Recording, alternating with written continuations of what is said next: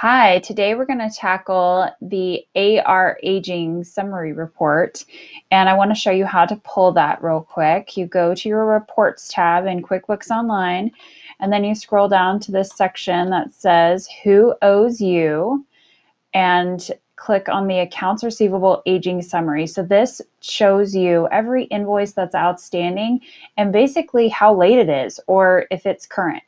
Um, if an if a individual customer has not been paying you, you will see um, how late they are on that invoice. So this is what this report shows you. And then it's, it's categorized into these aging buckets. So the older it gets, it moves to the right. Um, to, towards this higher number, 91 and over, um, is what this report currently shows. What you want to do is you always want to run the AR aging report as of a certain date. I like to always run it at month end so I'm going to run that.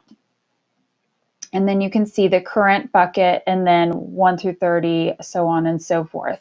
I also wanted to make sure I show you that you can change the dates, the days in the aging period, and you can also change the number of periods you want to look at.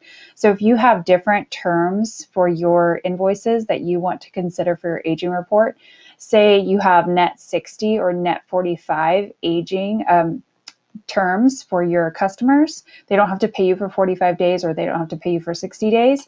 You can change this so that it's more customized for your business. And maybe we want to look at um, three periods instead of four. And then this automatically changes and puts things in the correct bucket.